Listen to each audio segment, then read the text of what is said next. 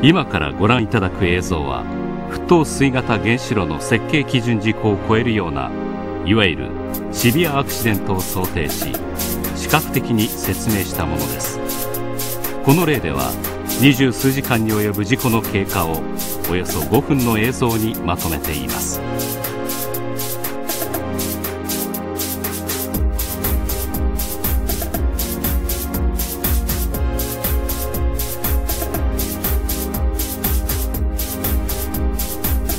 それではマーク1型格納容器を例に原子炉圧力容器につながる大きな配管が破断し大量の放射性物質が環境に放出される様子をご覧いただきます。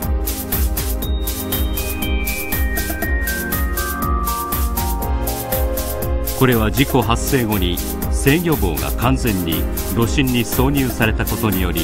原子炉が停止しその後炉心を冷却するための全ての注水に失敗するケースです。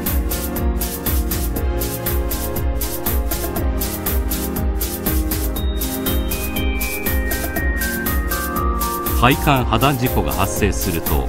冷却剤が流出し原子炉圧力容器内の水位が低下します。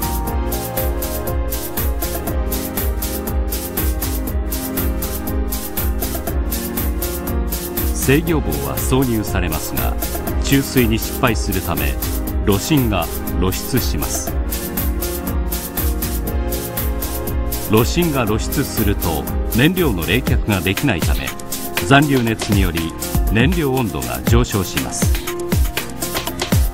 そして最も温度が高くなる炉心中央部の燃料が溶融します。溶融した燃料はやがて原子炉圧力容器下部に到達します。解析により事故発生からおよそ1時間でこの状態になると予測されます。原子炉圧力容器は厚さおよそ12から15センチの鋼鉄製ですが溶融した燃料は非常に高温であるためついには原子炉圧力容器を貫通します。解析により事故発生からおよそ3時間でこの状態になると予測されます。貫通した溶融燃料は原子炉圧力容器を支えるペデスタルの中間床面に落下します。そしてコンクリートの床を侵食しながらガスを放出し格納容器の温度及び圧力を上昇させます。マーク1型格納容器ではその後溶融燃料がコンクリートで形成されたペデスタルの中間床面を貫通しさらにその下部にあるコンクリート床面上に落下します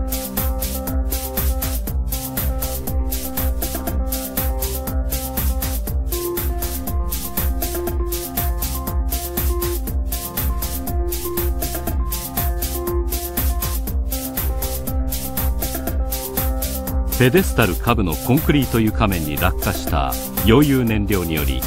ガスが発生します。このガスが格納容器内に充満して温度及び圧力が徐々に高くなります。そして圧力が格納容器の限界を超えた時に格納容器のフランジ部から原子炉建屋内に大量の漏洩が起こると想定し防災策を講じます。漏洩したガスには気ガスや要素などの放射性物質が含まれており原子炉建屋を経由して排気筒から環境に放出されます。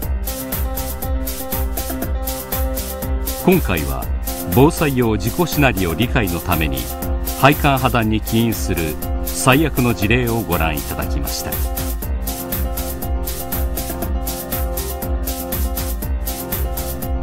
万一こうした事態に至った場合でも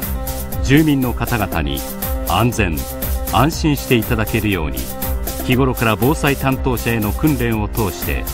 原子力災害時の対応能力の習熟に努めております。